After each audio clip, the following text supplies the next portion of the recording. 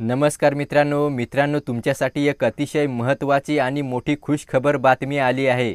मित्रांनो आता शेतकऱ्यांना पन्नास हजार रुपये प्रोत्साहन अनुदान मिळणार हे कन्फर्म झालं आहे. कारण ज्या शासन निर्णयाची आपण गेल्या दोन वर्षापासून वाट पाहत होतो तो अखेर आता घेण्यात आला असून लवकरच शेतकऱ्यांच्या खात्यात हे प्रोत्साहनपर अनुदान वितरित होणार आहे. मित्रांनो कोणत्याही योजनेची अंमलबजावणी ही तेव्हाच होते जेव्हा त्याबाबत शासन निर्णय निर्गमित केला जातो. तर मित्रांनो फायनली प्रोत्साहन अनुदान देण्यासाठी शासन निर्णय हा काढण्यात आला आहे. मित्रांनो या प्रोत्साहन अनुदान योजनेसाठी कोणते शेतकरी पात्र असणार आहेत आणि कोणते शेतकरी अपात्र असणार आहेत याची यादीच या जी आरमध्ये देण्यात आली आहे. तसेच कोणत्या दिवशी हे प्रोत्साहन अनुदान शेतकऱ्यांच्या खात्यात जमा होणार आहे हे सुद्धा या व्हिडिओमध्ये तुम्हाला समजणार आहे. तेव्हा सविस्तर माहिती या व्हिडिओमध्ये आपण जाणून घेणार आहोत. म्हणून व्हिडिओ शेवटपर्यंत नक्की बघा. तसेच चॅनेल सबस्क्राईब केला नसेल तर सबस्क्राईब अवश्य करा. तर चला जास्त वेळ न लावता व्हिडिओ सुरू करूया. मित्रांनो मागे काही दिवसांपूर्वी मुख्यमंत्री एकनाथ शिंदे यांनी शेतकऱ्यांना प्रोत्साहनपर अनुदान देण्यासाठी तात्काळ शासन निर्णय घेण्याचे निर्देश प्रशासनाला दिले होते. तर बघा अशा प्रकारे हा शासन निर्णय घेण्यात आला आहे. महात्मा ज्योतिराव फुले शेतकरी कर्जमुक्ती योजना दोन हजार एकोणीस अंतर्गत प्रोत्साहनपर लाभ योजना. बघा दिनांक एकोणतीस जुलै दोन हजार बावीस रोजी. म्हणजेच काल घेण्यात आलेला हा जी आर आहे. तर खाली शासन निर्णय काय घेण्यात आला आहे पहा.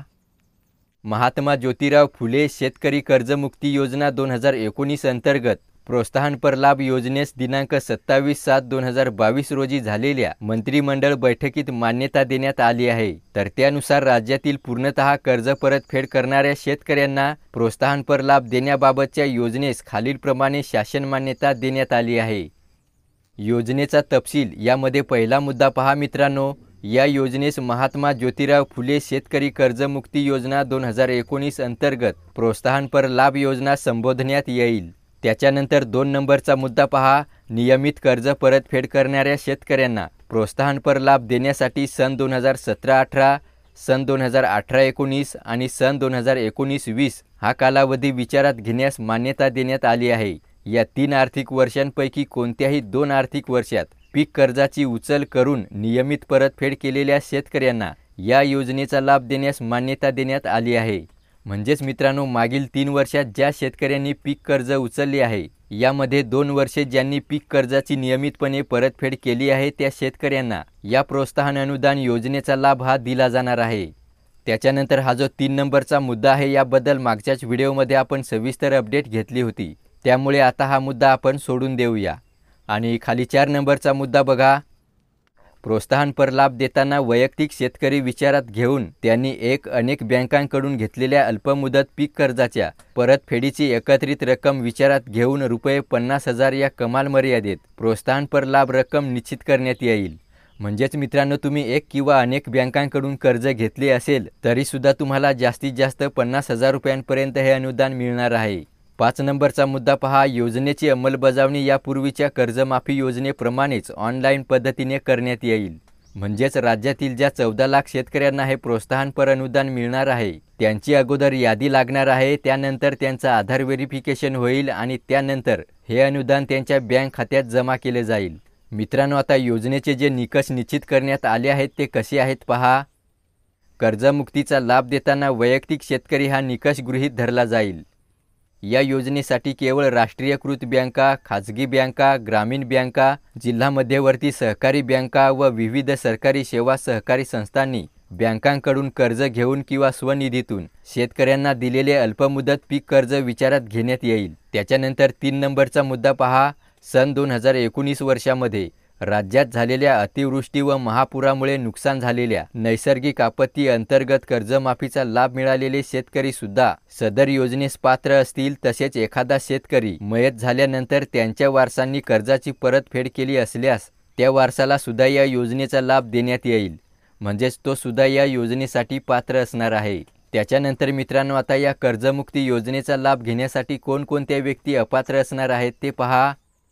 नंबर एक महात्मा ज्योतिराव फुले शेतकरी कर्जमुक्ती योजना दोन हजार एकोणीस अंतर्गत कर्जमाफीचा लाभ मिळालेले शेतकरी.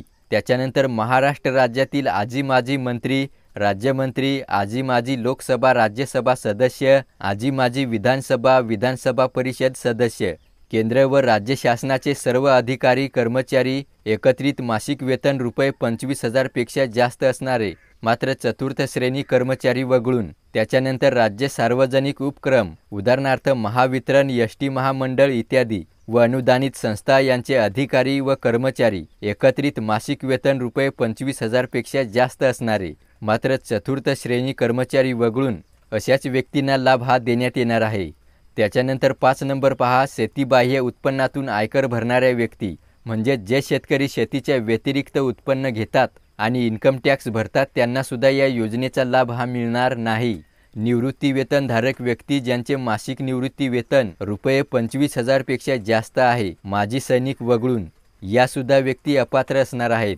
आणि सात नंबर कृषी उत्पन्न बाजार समिती सहकारी साखर कारखाना सहकारी सूतगिरणी नागरी सहकारी बँका जिल्हा मध्यवर्ती सहकारी बँका व सहकारी दूध संघ यांचे अधिकारी एकत्रित मासिक वेतन रुपये पंचवीस हजारपेक्षा जास्त असणारे व पदाधिकारी अध्यक्ष उपाध्यक्ष व संचालक मंडळ.